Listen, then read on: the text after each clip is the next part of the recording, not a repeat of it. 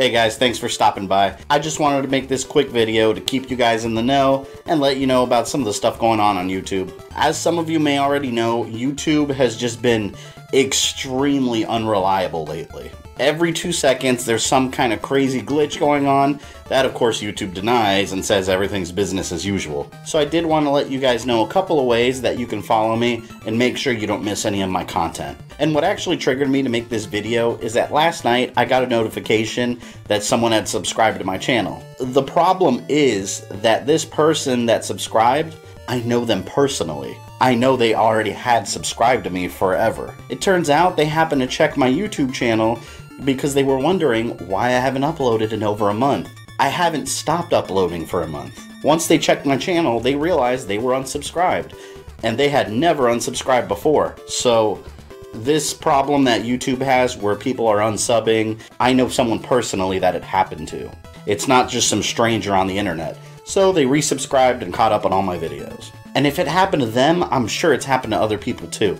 So just a couple of ways you can follow me and make sure you don't miss any of my videos. When you do subscribe, even if you're subscribed already, you can still check this. There's a little bell by the subscribe button that you'll see once you subscribe. If you click on that bell, you can receive notifications every time I upload a video. So if you are subscribed to me and want to keep up with all my content, make sure you click on that bell and sign up for notifications.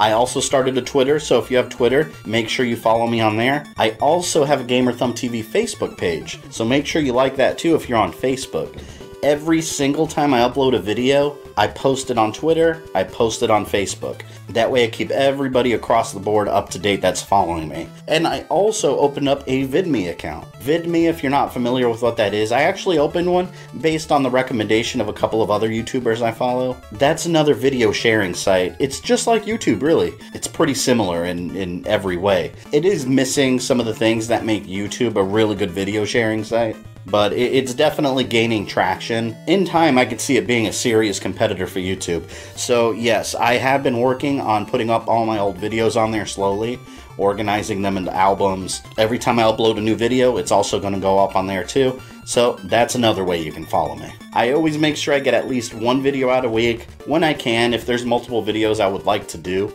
in a short time, sometimes I may do two to three videos a week. I can't promise it'll be like that every single week. I, I know I've tried to do an upload schedule in the past, but with life outside of YouTube, it can get pretty hectic. So, unfortunately for me, there's no way I can really have a, a set upload schedule. And now that I'm talking about the upload schedule, I want to use this opportunity to let you guys know what's coming up next. I just uploaded my Resident Evil 7 review, so what I have coming up for you next is Double Dragon 4. I'm going to do a Double Dragon 4 button smash episode, then I'm going to bring you another Midnight Movies, Arnold Schwarzenegger's Commando, followed by another episode of Button Smash for Streets of Rage. I love doing these game reviews because it gives me a reason to actually go back and play through an old game I haven't played in a little while. I do have a couple ideas of things I would like to go back and review, but uh, I, I want to hear your comments. What, what would you like me to go back and review? I'm really in the mood to go back and play some PlayStation 1 games, so I'm thinking of doing maybe maybe like a, a, Tomb Raider game or or another Resident Evil. I've already reviewed Resident Evil 7 and Resident Evil 2 on this channel. Maybe I'll go back and play the original or maybe even Resident Evil 3 Nemesis. That's been one of my all-time favorites. If you guys have any ideas of any games you'd like me to review, even movies, whatever, leave me a comment down below. I always like taking your guys' feedback and using that to decide what I want to review. But anyways, guys, as always, I appreciate all your support all your feedback. Thank you for listening. This is Fabian. I love you guys, and I'll see you next time.